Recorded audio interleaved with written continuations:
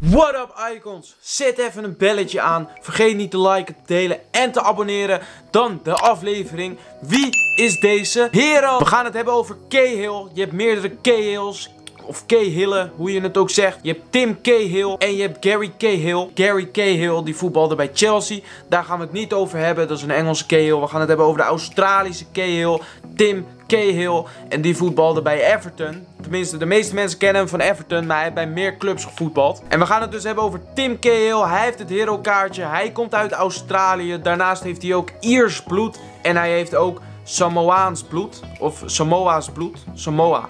Samoa. Samoans. Nou ja, Samoa is een land. En dat is een, continent Oceanië, vlakbij Australië. Het is een klein eilandje.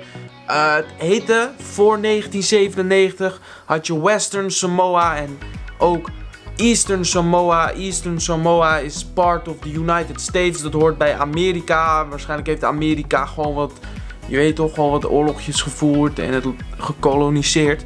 In ieder geval, Western Samoa heet nu Samoa, maar voor 1997 heette het Western Samoa. Ze hebben het nu gewoon Samoa genoemd.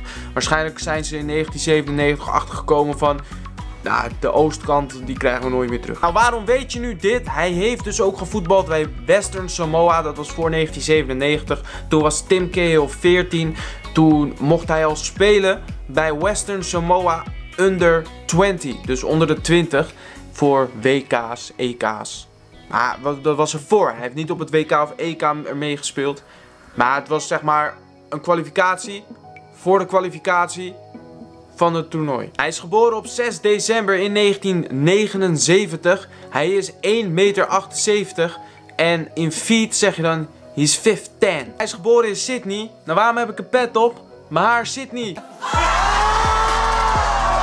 Timothy Filiga Cahill. Hij speelde als Cam of als spits. Debuteerde bij Millwall in 1998. Dit was zijn debuut als professioneel voetballer. Hij heeft daar gespeeld tot en met 2004. En in zijn laatste seizoen bereikte hij ook met Millwall de FA Cup finale. Hij is ook een keer gepromoveerd met Millwall. Nou, toen hij die FA Cup finale, Everton wat in hem. En Everton kocht hem voor 1,5 miljoen dollar. En daar heeft hij toen gespeeld tot en met 2000. Even kijken hoor. Even spieken. 2012. Ja, hij speelde daar. Eh, hij speelde dus bij Everton tot 2012. 2004 tot 2012. Daarna ging hij naar Amerika. Maar voor zijn verhaal in Amerika wil ik even nog wat zeggen wat hij heeft bereikt bij Everton.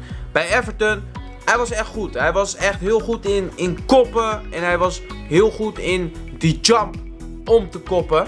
En daar gaan we ook even wat beelden van laten zien. Dat hij bij Everton speelt en dat doet, maar ook bij andere clubs.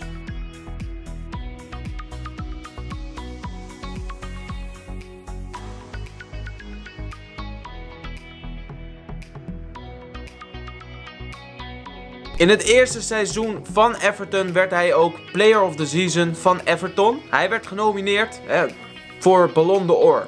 50 mensen worden genomineerd toen er tijd. Volgens mij nu nog steeds. Maar hij werd dus ook genomineerd voor Ballon d'Or. Nou, dan zijn we nu in 2012. In 2012 ging hij naar Amerika en ging hij spelen bij New York Red Bulls. Hij maakte daar de snelste doelpunt ooit in de MLS. En die gaan we ook even kijken. Het snelste doelpunt ooit in de MLS.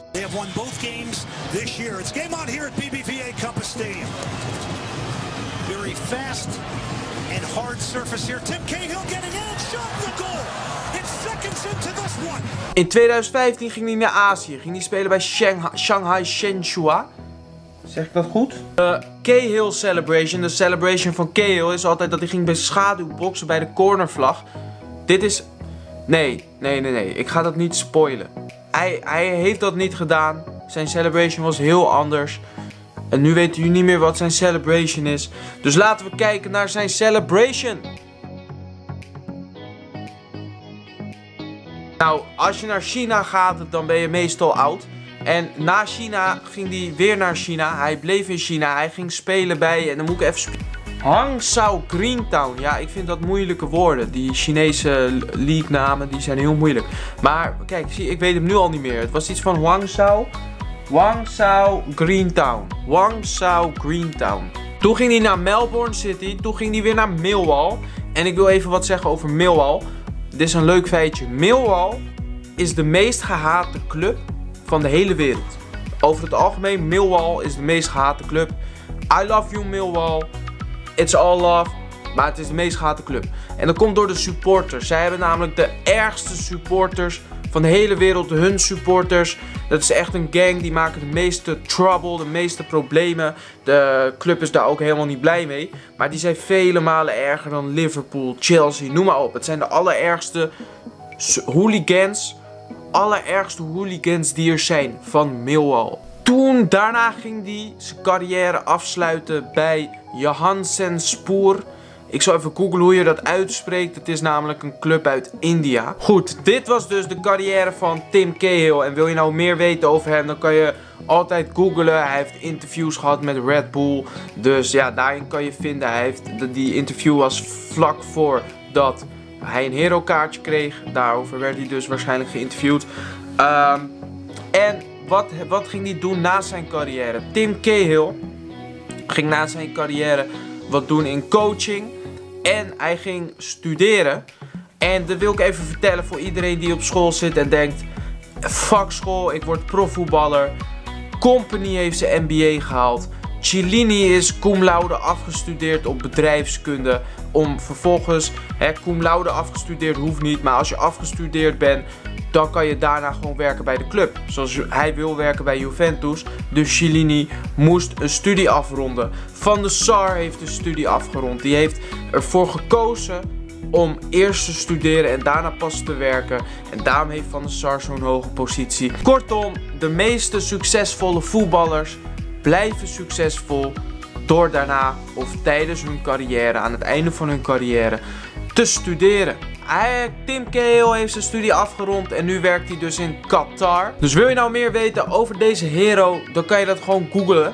Google weet alles. En ja, vergeet niet dat belletje aan te zetten. Volgens mij, als je dat belletje aanzet, dan ben je een hele gelukkige man. Want dan krijg je binnen wanneer ik weer kom met een super leerzame, vol entertainment video over traden. En ook de Road to Glories. Mijn Road to Glories zijn ook super leerzaam en entertainment. Waarom? Omdat ik gewoon letterlijk alles vertel wat ik doe. En het enige wat ik doe is coins genereren. Want ik ben niet de beste speler. Maar ik ben wel de beste trader. Dus... Vergeet niet dat belletje aan te zetten. En ook liken, delen en abonneren. Kijk, YouTube, volgens mij ben ik echt aan een dood paard aan het trekken. Want volgens mij is YouTube echt achteruit aan het gaan. Maar je weet het niet, hè. Ik ben gewoon ook op YouTube, dus doe dat gewoon voor mij. Doe dat voor jezelf. En dan wens ik jou nog een hele fijne dag, Icon. Hey, doedels!